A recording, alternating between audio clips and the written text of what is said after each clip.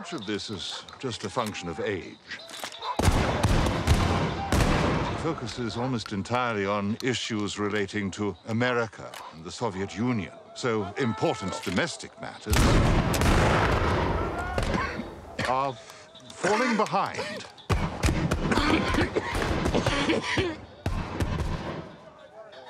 What do you suggest I do? Well, as sovereign, of course, there is nothing you can do from a constitutional standpoint. But as a friend, as Albert Windsor, uh, you are the one person I can think of to whom he might listen. Well, that is where we run into difficulties, I'm afraid. But I, I no longer am Albert Windsor. That person was murdered by his elder brother when he abdicated. And of course, Albert Windsor would dearly love to say to his old friend Winston Churchill, take a step back. Mm, Put your feet up. Let the younger generation have a go. But he is no longer with us, and that void has been filled by George the Sixth, who, it turns out, is quite the stickler. And would no more allow the sovereign to interfere with the prime minister than stand for office himself. Even when it's in the national interests, huh? The national interests, or Anthony Eden's interests.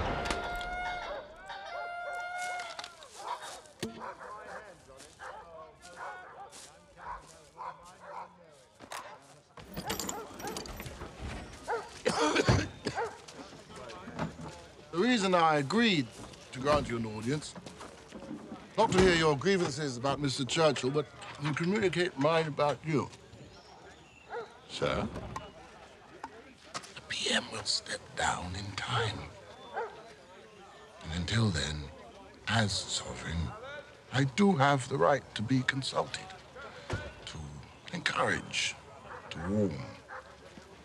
It is better to be patient get what you desire in the right time And have high office thrust upon you when you are not ready. I speak from personal experience. Foreign Secretary. Your Majesty. Sir?